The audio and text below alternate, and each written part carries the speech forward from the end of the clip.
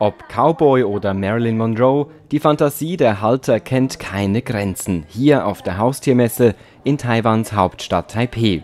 Die Highlights in diesem Jahr: Entspannung für die gestresste Hauskatze oder Laserakupunktur für Hunde. Anstatt Metallnadeln kommen Lasersonden zum Einsatz. Sie sollen chronischen Krankheiten vorbeugen.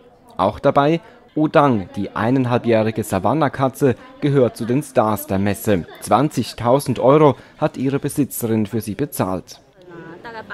Ich habe so lange nach der richtigen Katze gesucht. Manche denken, ich sei verrückt. Ja, vielleicht bin ich das wirklich.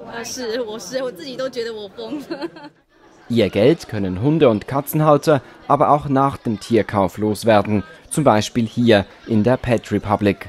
Chefin Catherine Zhang weiß, was den kleinen Hunden am besten steht.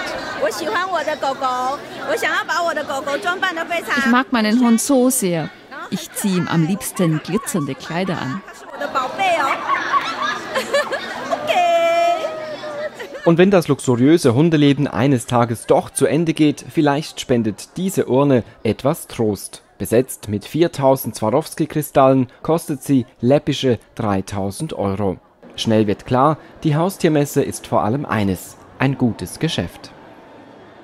Eine halbe Milliarde Euro, so viel setzt die Haustierindustrie im Jahr allein in Taiwan um. Nicht nur mit Dosenfutter oder Trockenfutter, sondern vermehrt auch mit diesen handgemachten Hundesnacks, die nicht nur dem Hund schmecken, mm, ist gut, sondern auch dem Herrchen. Mm. Bisschen trocken, aber sonst ganz gut. Für Sonntag aus Taipei, Martin 这个给你。